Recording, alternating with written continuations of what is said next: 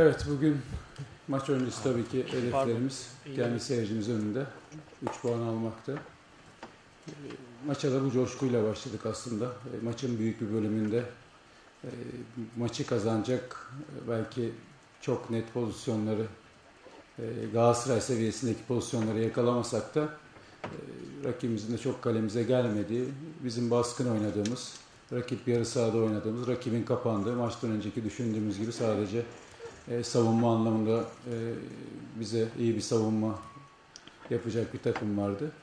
E, bununla ilgili daha iyi şeyler yapabilirdik aslında. Yani bizim benim üzüldüğüm e, tabii ki bireysel performanslar e, tabii kendi takımımızın kendi kalitemizin altındaydı.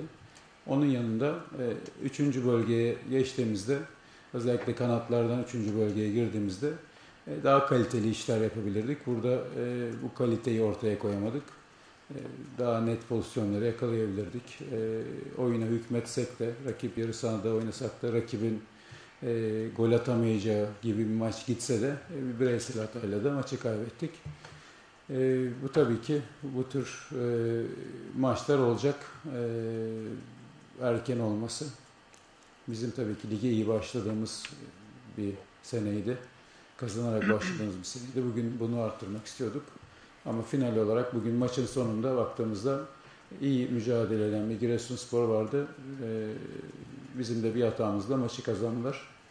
Onları tebrik etmekten başka bir şey yapamayacağım. Kendimiz için de tabii ki e, en kötü performansımız olarak belki bireysel performanslar anlamında yani yani mücadele vardı, baskı vardı, rakipten hep topu geri aldık. E, bu kaliteyi e, ortaya koyduk ama üretme anlamında e, bizim daha çok üretmemiz gerekirdi. Yani sadece burada e, rakip kaleyi bulan e, iki tane şutumuz var. 14 şutun ikisi kaleyi bulmuş.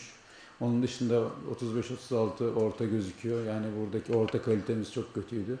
E, bu da bize e, sonucu getirmedi belki de.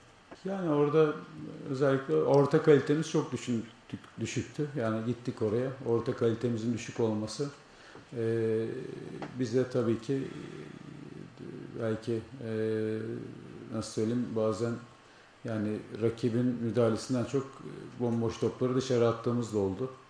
O yüzden orta kalitemizin düşmesi, rakibin oraları bize açması aslında. Bizim de oralara doğru gitmemiz. Ama orada arkadaşlarımızı buluşturamadık. O yüzden özellikle ben ikinci yarıya belki Gomis'le başlama nedenlerinden biri de e, bir ikinci forveti ceza sahası içerisine sokmak. Çünkü oralara gidiyoruz. E, bir ikinci forveti sokarsak orada oyunu da oyuncuları da daha net buluştururuz ama e, bu da çok gerçekleşmedi.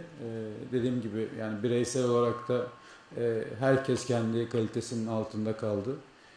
Bu da bize sonuç getirmedi ama burada yani e, takım boyu yani rakibe zaten çok fazla bizim sahamıza gelme ihtimali, e, kendi kalemize gelme ihtimali çok az verdik ama onun yanında dediğim gibi bizim daha çok üretmemiz gerekiyordu.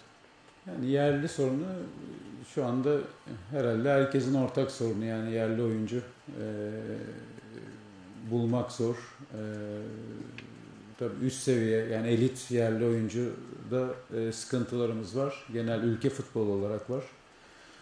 E, üç Türk kuralı da yani her takımı zorluyor. Yani her hocayı zorluyor. Burada tabii ki bir sürü şey düşünmeniz gerekiyor. Yani oyuncu değişikliği yaparken bile e, bu değişik bunları düşünmeniz gerekiyor. Bazen bir Türk bir yabancı birlikte sokuyorsunuz. E, gerçekten e, belki yani hepimizin tartıştığı, hepimizin neden olduğunu bilmediği e, bir kural var ortada ve bu kuraldan dolayı Şimdi oyuncu almak istiyorsunuz. E, yurt dışında bir takıma gidip Türk oyuncu almak istediğinizde size 7-8 milyon euro paralar çekiyorlar. Yani burada ekstra kulüplerin e, yerli oyuncu için harcadığı paralar var. O yüzden yerli sorunu var. Yani çok net de kimse bu anlamda yani orada 7 tane çok iyi yerli elit oyuncu var getirip oynatalım da diyemiyorsunuz. Şu anda orada çok fazla seçeneğimiz yok. Yani şöyle biz e, tabii ki kadroyu zenginleştirmek istiyoruz. Yani bazı bölgelerde e, eksikliklerimiz var. Yani yani stoper bölgesinde yine oraya bir takviye istiyoruz. Yani şanssızlığımıza e, sezona çok iyi başlayan Emin Bayram e, hazırlık kampında sakatlandı. Belki Emin e, hazır olsaydı Emin de burada kullanacağımız oyunculardan biriydi. E, onun dışında o bölgeye bir oyuncu bakıyoruz. Ön tarafa da tabii ki bize katkı sağlayacak farklı e, yaratıcı oyuncu arayışımız bir tane daha olacak ama sadece transfer üzerinden de gitmek istemiyorum açıkçası. Yani tabii ki takımı güçlendirmek için yani eksiklerimizi de görüyoruz. Yani burada özellikle yani aynı anda iki tane sağ sakatlandı. E, işte üçüncü sağ e, getirdik. Yani sol bekte yine e, burada sıkıntılar çekiyoruz. Yani her bölgeyle ilgili aslında e, sıkıntılar çekiyoruz ama şu da var takımı neredeyse sıfırdan yaptık. Bugün de bir sürü oyuncu, yeni gelen oyuncu oynadı. E, bunların da bir alışma süreci var birbirine. Ligi alışma süreci, takım alışma süreci. Yani performans olarak bireysel e, performans olarak kendi performanslarını bulma süreci. Benim geçen haftayla en çok galibiyete sevindiğim şeylerden biri tabii ki galibiyet hep seviniyorsunuz ama yani ligin ilk haftası deplasmanda Antalya Spor tam hazır değilsiniz, kadronuz oturmamış. Galibiyetle başlamak çok önemliydi. E, bugün de bunun tersini yaşadık. Burada da tabii ki ekstra bir üzüntü yaşıyoruz. Yani 6 puan için buraya çıkmıştık. İkinci maç 6 puanı yakalayıp e, yolumuza devam etmek, taraftarımıza burada sevindirmek ama e, ben onları tekrar söyleyeceğim. Biz burada takım olarak daha iyisini yapacağız. Bu anlamda hiçbir şüphem yok.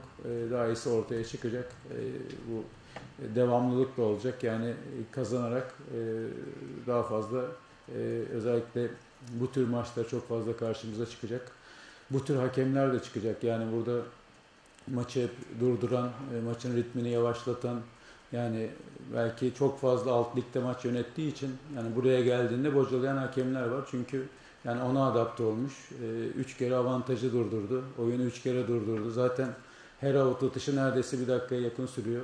Yani burada da e, bu tür e, şeyler de karşımıza çıkacak, bu tür hakemler de karşımıza çıkacak. Yani e, biz Türk futbolu için hep diyoruz ki işte oyun hızlansın, kalite olsun, maç süresi artsın. Ama bu hakemlerle bunun olması çok zor gerçekten. Yani bu tür hakemleri seçip bu maçlara veriyorsanız e, bunlarla bu oyunun süresinin uzamasının bir şansı yok. Neredeyse belki 45 dakikalara, 40 dakikalara düşürebilirler bu tür hakemler.